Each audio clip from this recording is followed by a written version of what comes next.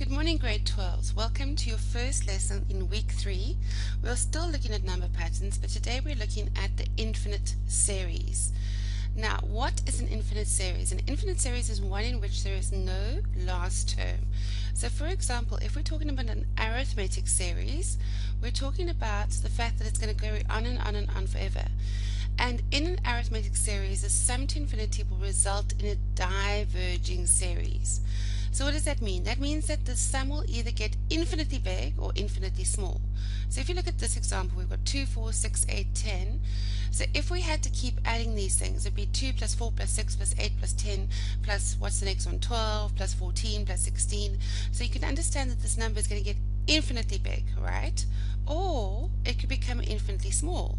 So if we added minus 12 plus minus 10 plus minus 8 plus minus 6, we'll end up getting very, very close to minus infinity. So the arithmetic series, the result is always ends, ends up in a diverging series. In other words, it doesn't come to a specific number. It actually just gets bigger and bigger and bigger.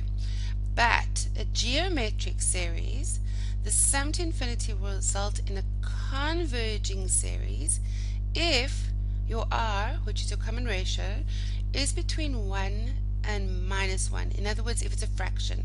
If it's either a positive fraction or negative fraction, what will happen is that it will actually converge to a specific number. The sum will get closer and closer to a specific number. So for example, you've got 4, 2, 1, a half, a quarter. So let's just look at that as an example. Let me just write this down. If for example, we're over here, we've got 4 plus 2 plus 1 plus a half plus a quarter, if you add this, okay, 4 plus 2 is what? It's 6.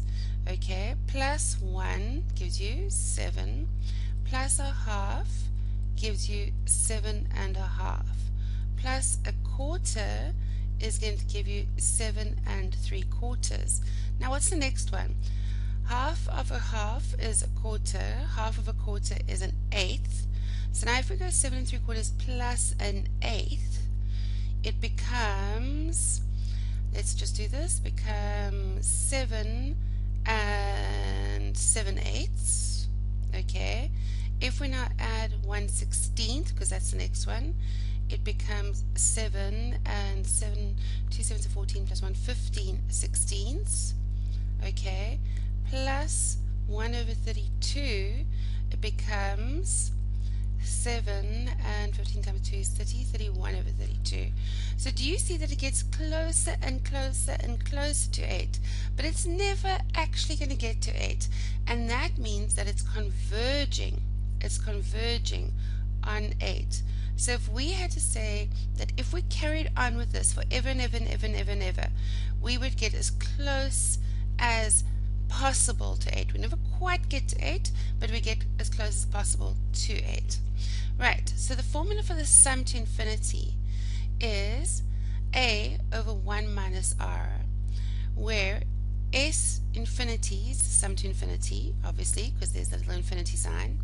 A is your first term and R is your common ratio. And remember your common ratio for sum to infinity has to be between 1 and minus 1.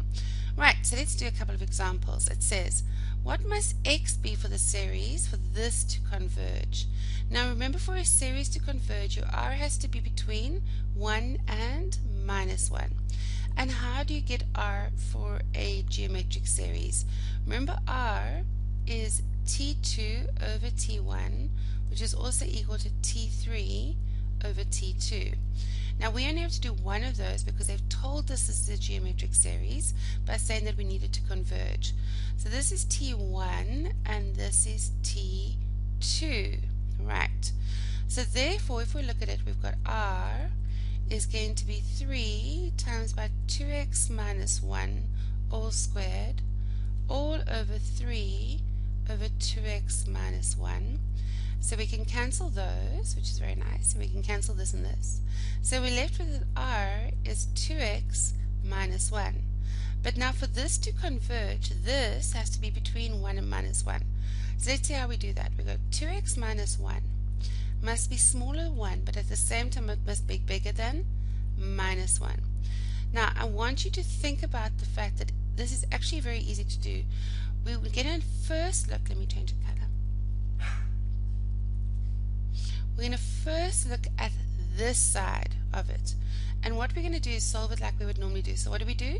We take the 1 across. So we go minus 1 plus 1 is smaller than 2x, right? And then we're now going to look at that half of it. And if we look at that half, what would we do? We would take the 1 across as well. So we go 2x minus 1. Minus 1 goes to the other side, so it's 1 plus 1. So it becomes 1 plus 1. Okay, so then I'm just going to change back to the normal color. And we've got 2x is smaller than minus 1 plus 1 is naught is smaller than 2 and what do we do now we divide both of these sides by 2 because again we're going to first look at this side so we go x is smaller than naught divided by 2 which is just naught and then we look at this side and it becomes 2x 2 divided by 2x is I mean by 2 is 1 so therefore for this to converge your x has to be between 0 and 1. For this to converge, your x has to be between 0 and 1. Right, now it says find the sum to infinity of the series 27 plus 9 plus 3. Okay, so first of all, sum, let's just write this down. Okay, let's do it over here. The sum to infinity equals a over 1 minus r. Now a is easy, we've got it, it's 27. But now we need the r. So remember your R is basically going to be um, T2, that's T1, that's T2, this is T3. So remember it's T2 over T1, which is going to be 9 over, 9 over 27, which is if you divide both of those by 9, you get 1 third. Therefore, our sum to infinity is equal to A, which is 27, divided by 1 minus a third, which is 27 divided by 1 minus a third is 2 thirds. And what do we do when we divide? We tip and times. So we've got 27 times by 3 divided by 2. And you pop out your calculator. You go 27 times 3 equals divided by 2 equals. And it works out to be 40 and a half.